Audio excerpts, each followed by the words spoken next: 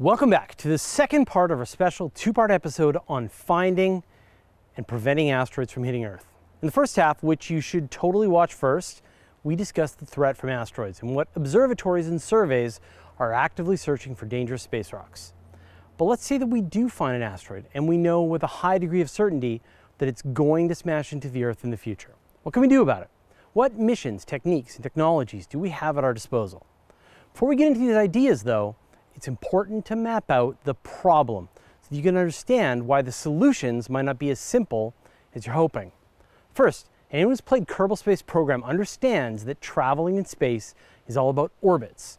It's not that a space rock is on a collision course with Earth, although there could be some on highly eccentric orbits. It's that Earth shares a region with hundreds of thousands of rocks known as near-Earth asteroids. Instead of a cosmic shooting gallery, imagine an asteroid racetrack where various objects are going around and around the sun in a cloud with the Earth. The Earth's gravity and their interactions with each other can cause their orbital trajectories to change. A previously safe asteroid could be jostled into a new orbit that could bring it into a collision course with Earth after many, many orbits into the future. Chaos reigns with these calculations, and beyond a number of orbits, it's hard to predict the future trajectories again, which is why we need to be constantly vigilant to the skies. The asteroids themselves aren't the same either. Some are that classic chunk of rock that you've seen the Millennium Falcon dodge, but many others are just a pile of rubble held together by mutual gravity.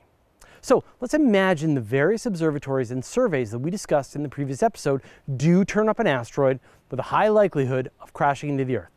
What can we do about it? Now, I know Bruce Willis movies have taught us all we need to know, but unfortunately, Armageddon has misled you on many levels. Again, it's not an asteroid that's on a collision course with Earth, it's that the orbits of Earth and a killer space rock could overlap in the future at the same time. That's an impact.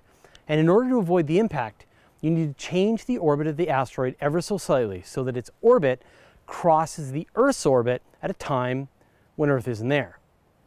Small changes make a big difference over time. If you've only got a few months of warning, then there isn't much that you can do. But if you have years or even decades to push an asteroid, you can make the slightest change to its trajectory and things will work out for us in the long run. Now, I'm going to start with the more mainstream ideas first and then get into some of the stranger ones. The most commonly discussed idea is known as a kinetic impactor. In other words, you smash something heavy and fast into the asteroid, and the impact slightly changes its orbit. We actually have a lot of experience with this, including the Deep Impact spacecraft and NASA's LCROSS mission. But these were designed to crash into their targets and kick up some debris so that astronomers could study them. The goal wasn't to completely change their orbits. There is a collaboration mission in the works between NASA and ESA called the Asteroid Impact and Deflection Assessment, which could send a spacecraft to the asteroid 65803 Didymos for a close encounter in 2022. The mission will consist of two spacecraft, a NASA-built impactor and ESA's orbiter. And if all goes well, the mission will launch in 2019, potentially visiting another asteroid on its way to Didymos. The impactor will smash into the asteroid and then the orbiter will stick around and calculate the change in trajectory from the event. After this, we'll have a better idea if impactors are the right way to go. The other main route is known as a gravity tug.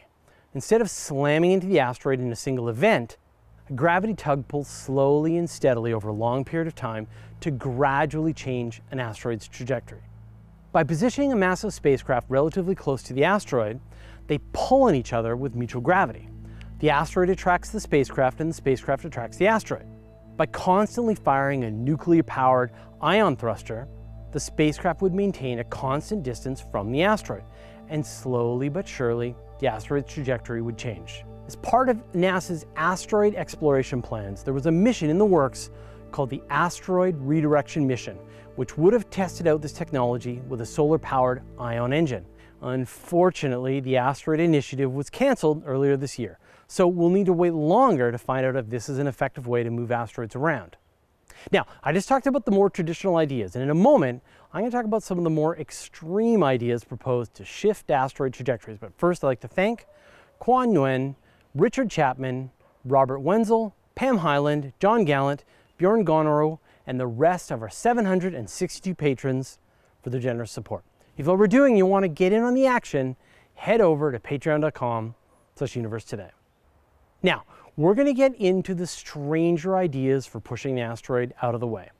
I'd like to give credit to Universe Today's senior editor, Nancy Atkinson, for collating these ideas in a story that we did earlier this year. And I'll put a link to her story in the description.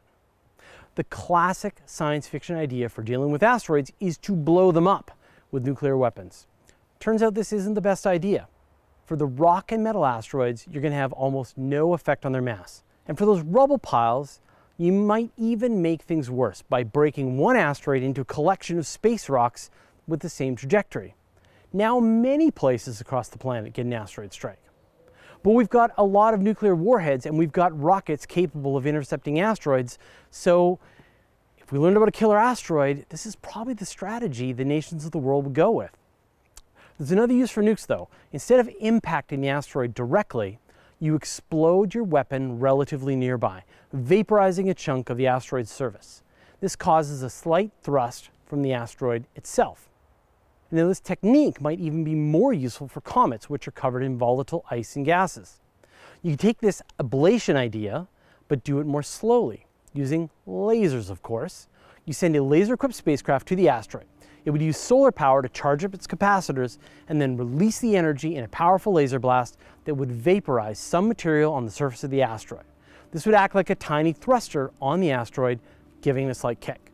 Instead of a laser, you could use a giant parabolic mirror in orbit around the asteroid, which would focus sunlight onto the surface of the rock, heating up material and acting like a thruster. Now the next idea is to just install thrusters on the asteroid. Stop the asteroid's rotation and then just fire your thrusters, ideally using fuel that you harvested from the asteroid. Break apart water into hydrogen and oxygen, which is a handy rocket fuel. Another set of ideas focuses on the fact that the sun is constantly pushing on everything in the solar system with its photons. Now this force is essentially zero for the planets, but for the smaller objects, this photon force, as well as the thermal radiation from the asteroid itself, can make the rotation, tilt, and orbit unpredictable over long periods of time. This is known as the YORP effect, and it could be enhanced with our technology. Now there's been various ideas to wrap part of an asteroid in reflective mylar or paint part of an asteroid white or silver and then another part black to maximize the force. Now another really interesting idea is using mass drivers. This would consist of an electromagnetic railgun installed on the surface of the asteroid. Automated solar-powered rovers would mine the surface of the asteroid and deliver material to the mass driver. It would then accelerate this material into an escape trajectory. With each chunk of material thrown off, the asteroid itself receives a tiny kick in the opposite direction, and this could be used to slowly move it. Now, one additional advantage to this technique is with the right timing, you can send this mined material into more useful orbits for the future. You make the asteroid safer while also mining valuable resources. It's a great idea, in theory. Finally, we talked about impactors earlier in the episode, but you can do this technique in slow motion. Instead of a single catastrophic impact, you could bump against the asteroid with a giant airbag over and over again. This makes things simple because you don't have to be concerned about the orientation of the asteroid itself. Just bump, bounce back, accelerate, and bump again. So which of these ideas is going to work best? Right now, all we have are studies, and planetary astronomers still argue over which one is the best. We need to test them out. We need to send missions to the asteroids, try out the different techniques, and see which one gives us the biggest bang for our buck. Once humanity has finally gotten a handle on this threat once we can identify dangerous space rocks and move them into safer orbits, we'll have taken one existential threat completely off the table. Of all the ideas for stopping an asteroid, which ones do you prefer? Which technologies should we invest in developing further? And which are just science fiction? Let me know your ideas in the comments. In our next episode, we look at the mighty Space Launch System and some of its possible goals. What could you use the most powerful rocket ever built for? I'll get into that next time. For our playlist, the asteroid hunting continues. The first video is part one of this series, so if you missed that, check it out. Then PBS Spacetime takes a crack at stopping asteroids. Haven't actually watched this video, but I trust Matt to do a good job. Bill Nye talks about the problem, a lecture with Neil deGrasse Tyson about stopping asteroids, and then an even longer, more in-depth lecture from NASA. And that starts right now into more useful orbits for, fu- for the. ugh.